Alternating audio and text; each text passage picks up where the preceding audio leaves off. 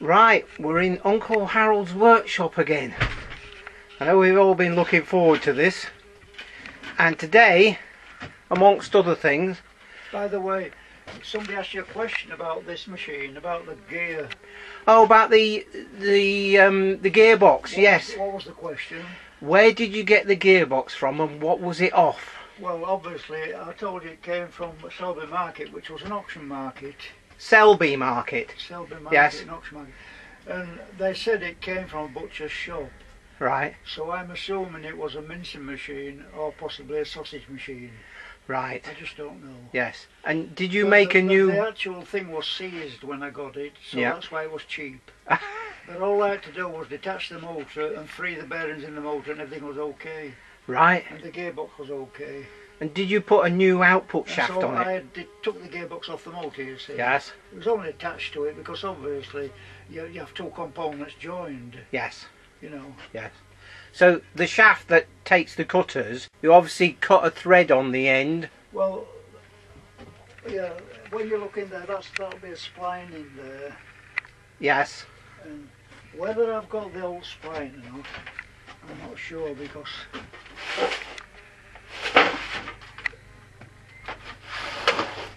Would you have made a shaft then? there's all bits here where machines have been dismantled and put back together. Never throw anything away. There's some bumblebees floating around in here today. Don't worry about it, Harold. I don't know whether I saved it or not. Right.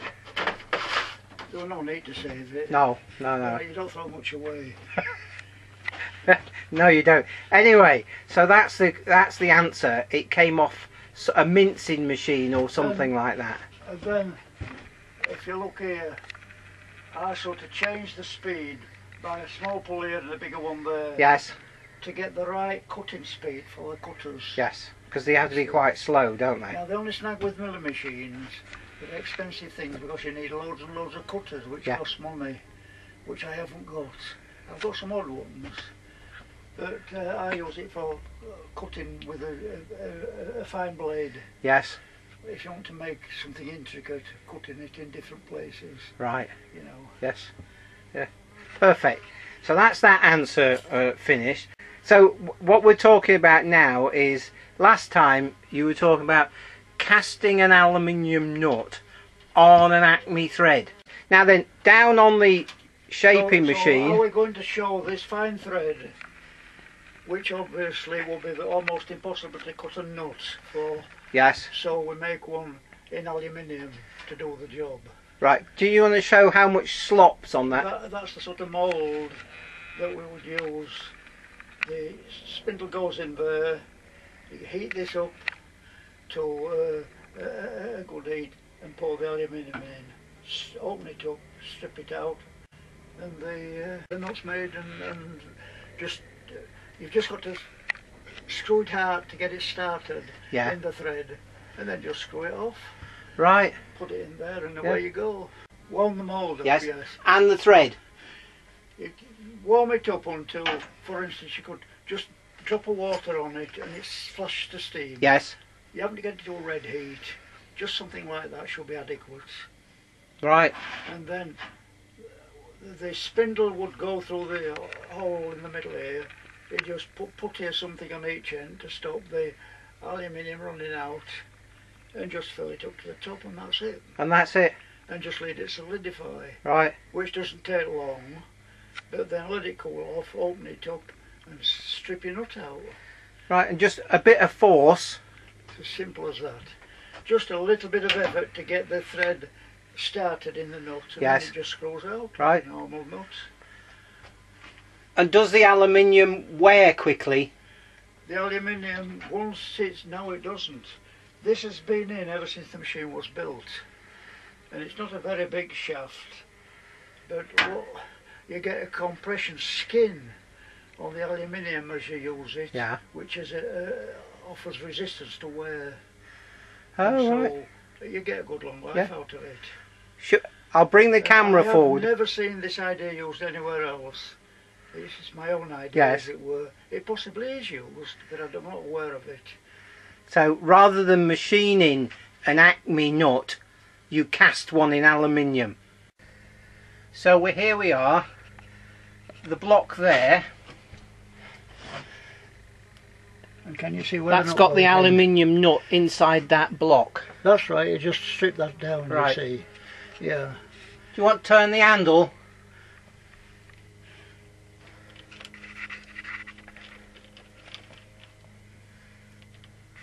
See, it's instant response. There's only the slack in the spindle, Yes. but it's instant response. And this has been there ever since the machine was built, and it withstands the side thrust of the cutter Yeah. all the time. So it does the job. I had a friend who bought a big, massive joiner's vise, a proper big industrial one, and it was really cheap, but it was all taped up from this sort of auction sale. When he got it home and undid the tapes, there was no nut or quick release mechanism, so it was absolutely hopeless. That's why it was so cheap. Came to me, he said, could I make him a nut? Well, almost impossible task to make a half note with that. So what I did, I cast him a note in situ in the vice itself. Yeah. And eventually he sold that vice to a commercial joiner who would use it daily Yeah. on my aluminium nuts. Now that of course was a very coarse thread, like an acme thread type thing, which was ideal for making them aluminium nuts. Yes. So that saved the uh, wow, Yeah, yeah, yeah. no problem. All right. And that was years ago, was it? That was years ago. That was at least 30 years ago. Right. Oh, 30 years, 40 At years. least 30 years yeah, ago. yeah, yeah.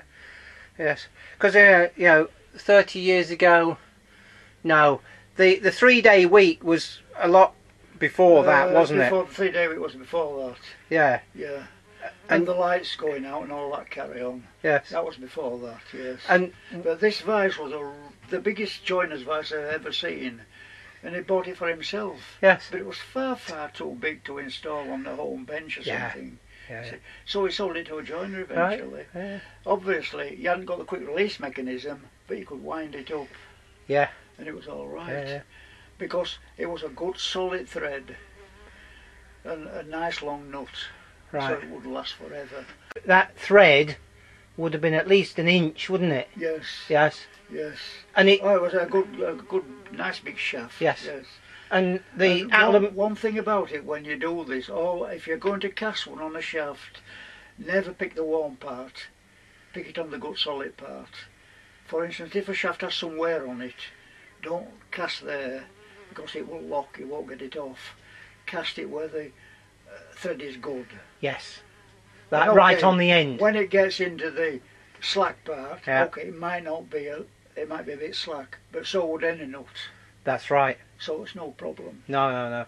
And with that big thread, you didn't get a problem with the aluminium sticking on no, the. no, not at, nothing at all. But uh, they are obviously aluminium contracts, Yes. and you have to sort of work it. Well, you can see how slender that is. Well, that worked easy enough without breaking. Yeah. To screw it out of the die. Yeah. Yeah, yeah. In the three day week, what Yes. things did you have to do? Well, with a three-day week, the works had to shut down. They couldn't employ them doing anything. So, uh, but it was a national thing. You couldn't blame the company. It was a national thing. Right. And it was the same when they had power cuts. You had to just shut down. And the workers just had to stand off. There Oh. was no compensation or anything for them or anything like that. You mean they didn't get paid? That's just how it worked. Yeah. Because it was a national thing. Yes. Couldn't help it. So did did you did you do quite a bit in the power stations? Oh, we did a lot of power station work. Oh yeah, all, all the big power stations. We were in on those. Yeah, all the big ones. And during the three day week, they were worked really hard, were they? Well, what were happening there? was There wasn't enough capacity, so there were the bigger stations.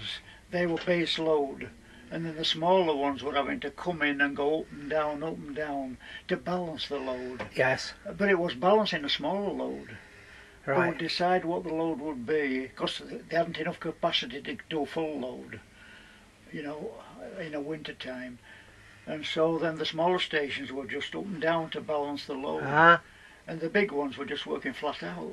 You see, the station is a, a 2,000 megawatt station, say. So to get a 2,000 megawatt, you've got to use it to full capacity. So that's what the big stations were. Yeah. So they'd use those flat out, but then that wasn't enough.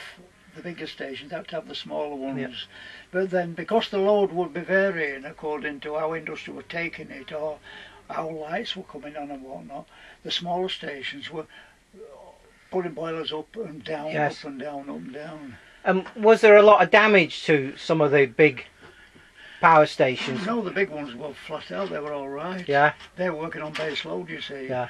Now the smaller ones, they were working on uh, an intermittent load.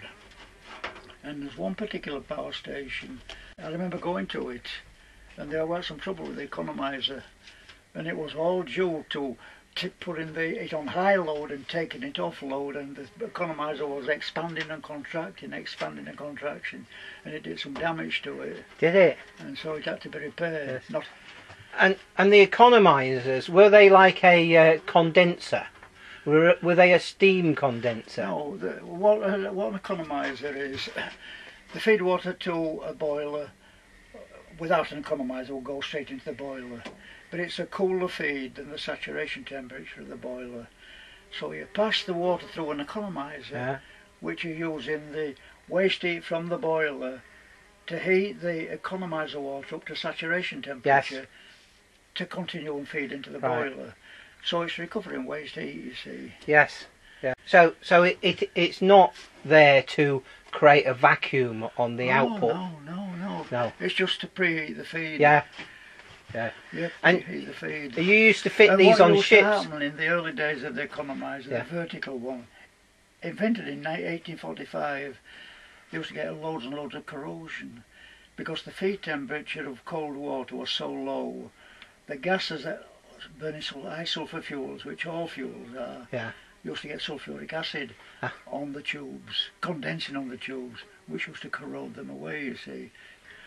But then as power stations were developing, the Boilermaker could make his own economizer. Ah. So sometimes we're in competition with the Boilermaker, you see. Two who made the economizer. Because on what? So you're pitting your wits then against getting the best design. Yes. Yeah. And if And you were a necessary part uh, uh, uh, for efficiency with uh, uh, all boiler plants. yeah, because there's no point putting cold water into a boiler. You might as well put hot water in there. Well, yeah, but you need an economizer to provide the hot Yeah. water. If you didn't have an economizer, you'd just feed it cold. Yeah. Yeah. Yeah, yeah. But of course, the techniques have changed all since then, and it's all far more complicated than the initial concept. Let's just have a quick look at this mould. If you leave it on the, the, the bench there. Well, if you like, we'll have a look at the crucible as well. Oh, that'd be a good idea. So there's the mould. It strips down in uh, in three parts. Yeah, yeah. And there you go. So if you ever wore that nut out, you could make another out one. Yeah. Yeah, but if you're making a nut for anything else, you can you can sort of with a bit of ingenuity, you can knock something together out of a tin can. Yeah. To mould, uh, and then probably cut your nut into shape to fit into the uh, aperture. Yeah, yeah, yeah, You yeah. know. But it's got to be with but this. what you do when you do it like that, you bed it in sand, Yeah. so that the uh, aluminium can't run out. But with one like that, it's all contained in there as aluminium. It can't run out, No. apart from just sealing the ends Yeah. with putty or something. Just something to stop Yeah. it running. And you'll get some when you've opened it up. Some will have started running this way. You just cut that off. Yeah, yeah. Brilliant. Let's have let's have a look at the crucible. So there's the shaping machine that we spoke about uh, last video, and Uncle Harold's just going to show us the when how he used to melt the aluminium. All you do is just keep dropping the aluminium in, it just melts and just scrape the dross off the top. Yes. It. Right, and so what we've got here is a crucible. Now then, if you had a metal Crucible. container, Yeah. Because it's a red heat when you're doing the uh, melting aluminium, you'd be gradually scaling up the uh, steel container till you burn it away. Yeah. Yeah. yeah. But a crucible is made for the job. So that's a crucible, and then there's some. I haven't used it for anything more. Uh, aluminium. Aluminium. I haven't tried doing brass or anything. Right. So we've got some refractory material there in a bit of a steel case. Refractories are encased in this Yeah. metal shield, Yeah, yeah, and which holds it all together. there's a crucible. And Clamp. uh, the metal's absolutely protected by the refractory, Right. so you don't get any uh, wear on that, any burning away. And just use a big propane torch. And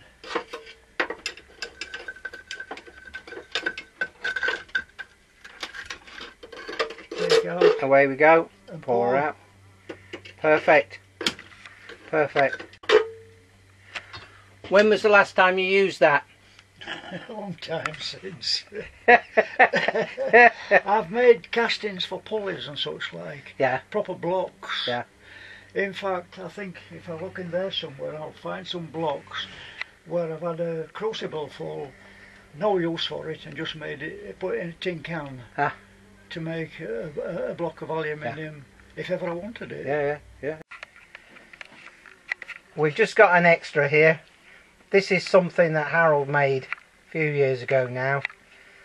Obviously picked up a little uh, foot-mounted two-stroke engine and did a direct drive connection to a Lucas alternator, uh, Lucas dynamo. And because it doesn't have any windows in it, that could be a tractor dynamo.